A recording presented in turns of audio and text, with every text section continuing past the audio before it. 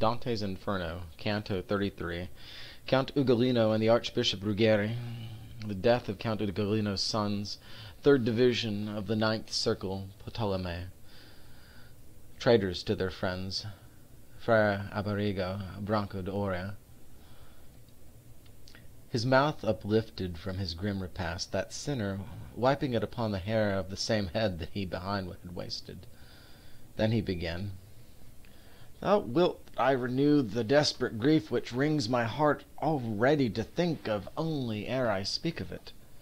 But if my words be seed that may bear fruit of infamy to the traitor whom I gnaw, speaking and weeping shalt thou see together. I know not who thou art, nor by what mode thou hast come down here. But a Florentine thou seemest to me truly, when I hear thee. Thou hast to know I was Count Ugolino, and this one was Ruggeri the Archbishop. Now I will tell thee why I am such a neighbor. That by effect of his malicious thoughts, trusting in him, I was made prisoner, and after put to death I need not say. But nevertheless, what thou canst not have heard, that is to say, how cruel was my death, hear shalt thou, and shalt know if he has wronged me. A narrow perforation in the mew, which bears because of me the title of famine, in which others still must be locked up, had shown me through its opening many moons already, when I dreamed the evil dream which of the future rent for me the veil.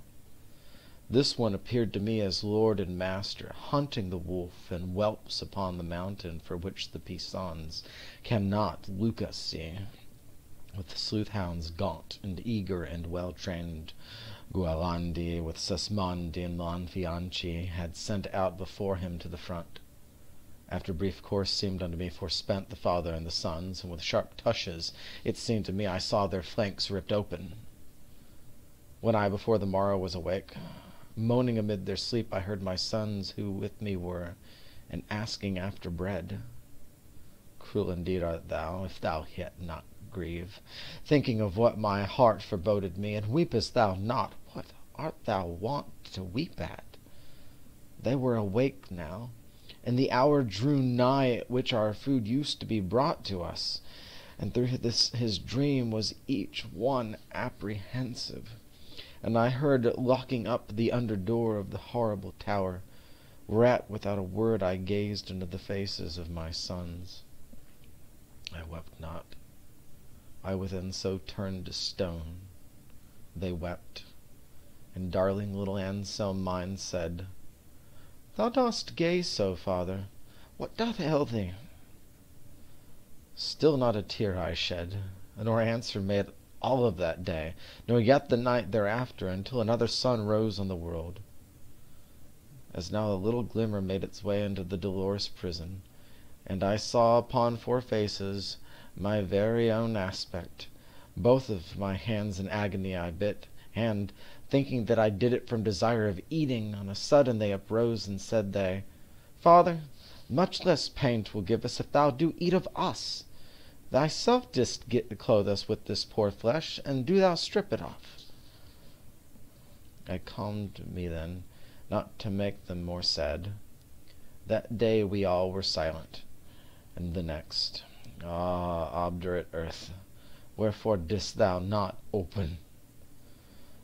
When we had come unto the fourth day, Gaddo threw himself down outstretched before my feet, saying, My father, why dost thou not help me? And there he died. And, as thou seest me, I saw the three fall, one by one, between the fifth day and the sixth, whence I betook me, already blind, to groping over each, and three days called them after they were dead. Then hunger did what sorrow could not do.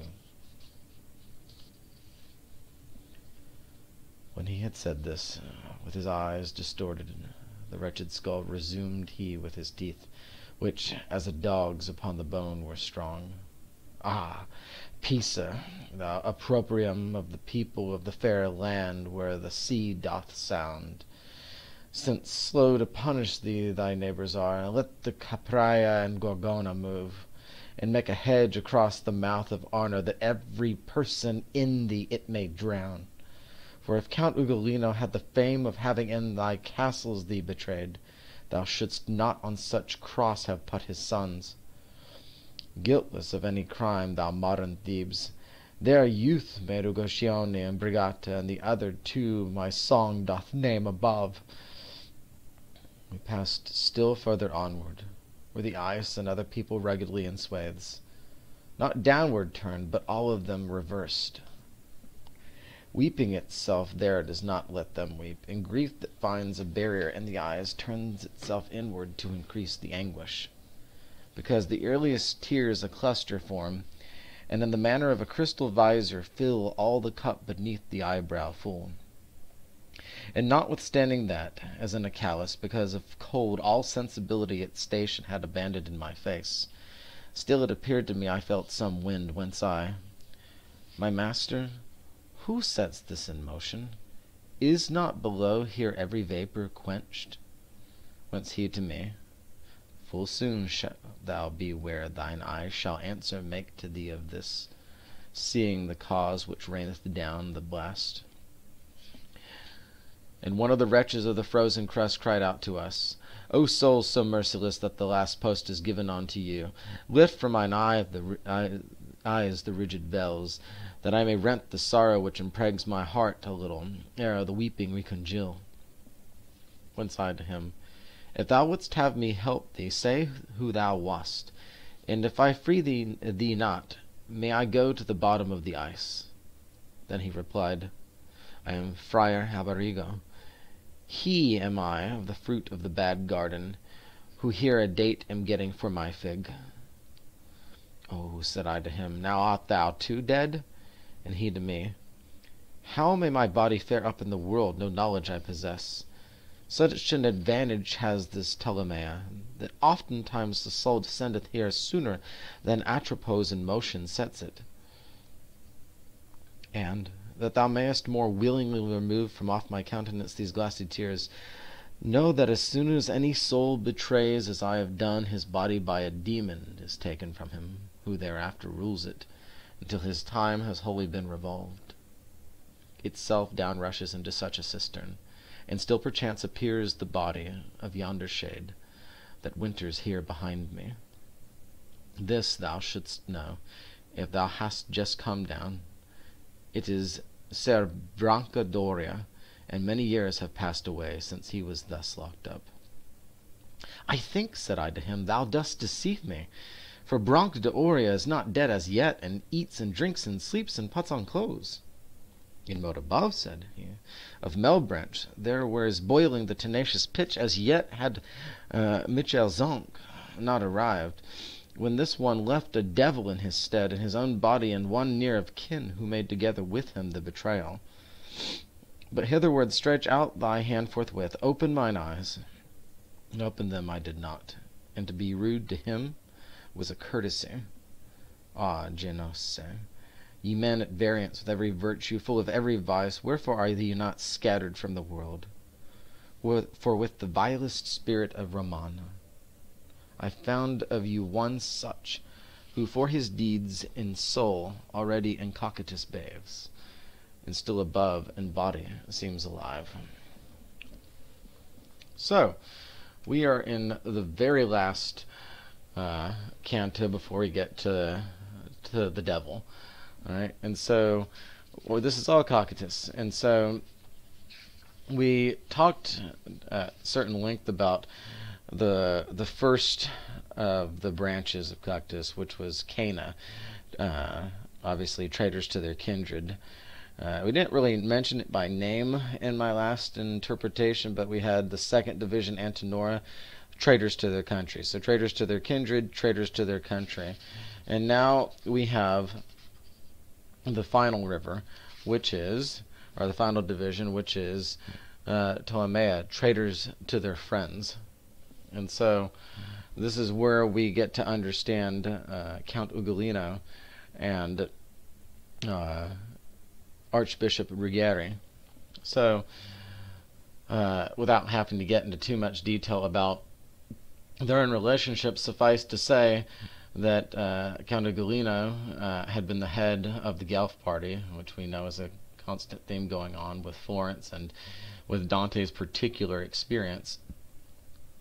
Uh, but we see that this man who in the last canto, at the end of the last canto, has cracked open a dude's skull and he's gnawing on his brains.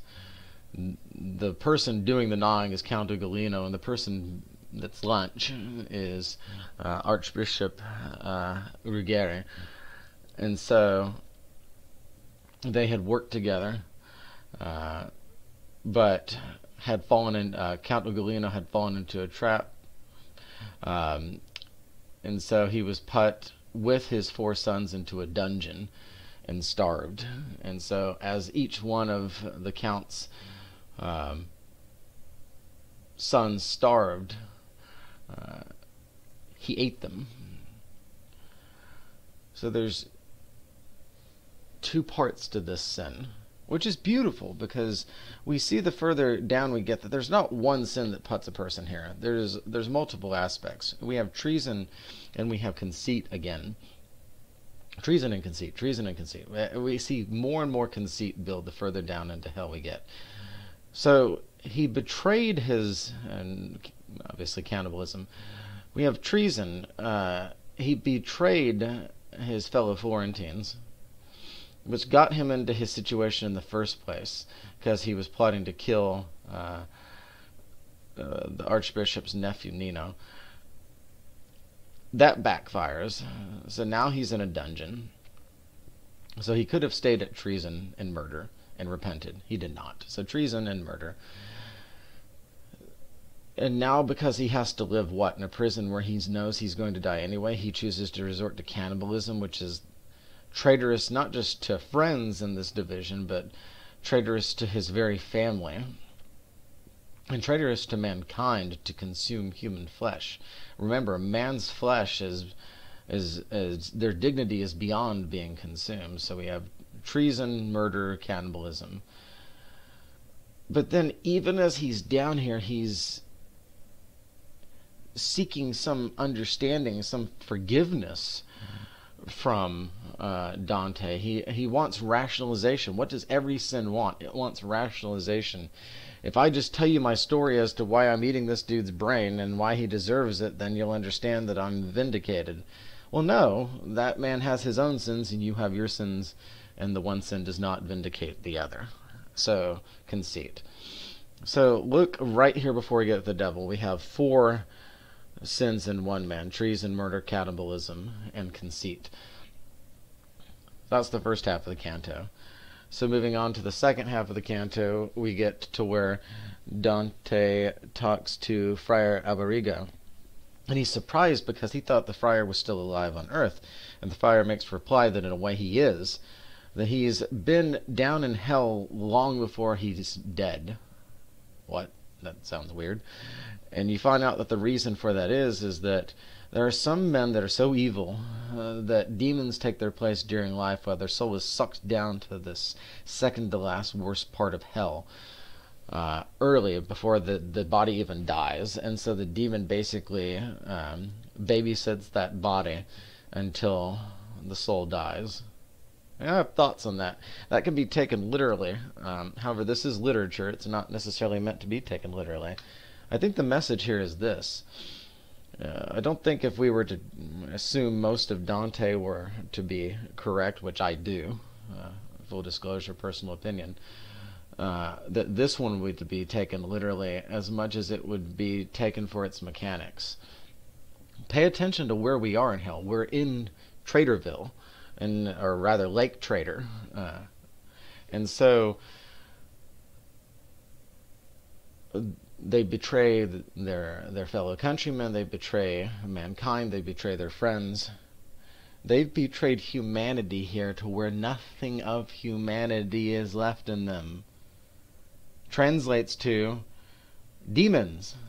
So that's what Dante is trying to say here is that having a demon in them and not having a human soul in them is meant to be symbolic for there not being any humanity left in that shell Therefore, only a demon can be there. So that person is already in hell, which is consistent with Catholic teaching. The Catechism teaches that there are two states of heaven and there are two states of hell.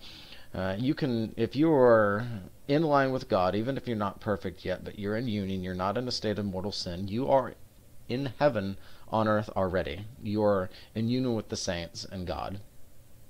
Now, when you die, there will also be uh, a physical heaven. However, inversely, uh, if you are not in union with God on earth, you are already in hell, and then you will also suffer the physical hell and the, the life to come. Is that not consistent with this? The characters here have violated, they have forfeited, they have betrayed their humanity so much that nothing of humanity is left in them but hell, ergo, citizen of hell, a demon. And their souls are down in hell already. They are in a living hell.